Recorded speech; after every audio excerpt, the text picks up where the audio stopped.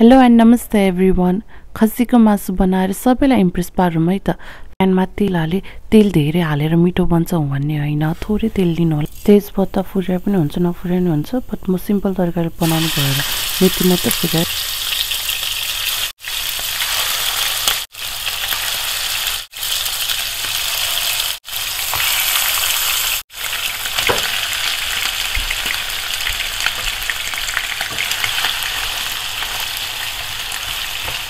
अब भनेको चाहिँ खसीको मासुको पानी निस्केको छ नि यो पानीलाई चाहिँ सबै सुकाउनु पर्ने हुन्छ।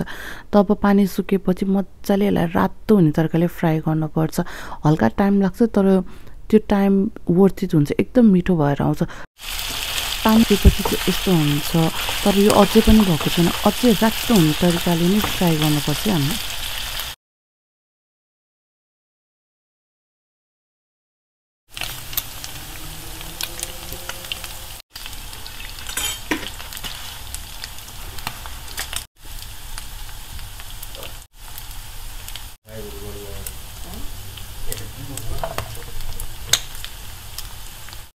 अब मसला हाल्नुभन्दा अगाडि चाहिँ हामीले लसुन अदुवा अनि त्यसपछि अनियन हालिहाली त्यो चाहिँ देख्नुभयो। त्यसलाई फ्राई राम्रोसँग भएपछि हजुरलाई के के थरीको मसला मनपर्छ त्यही हाल्नु मैले चाहिँ नुन बेसार रातो खोर्सानी क्युमिन र कोरिएन्डरको पाउडर अनि त्यसो मिट मसला यति मात्र हालेको छु।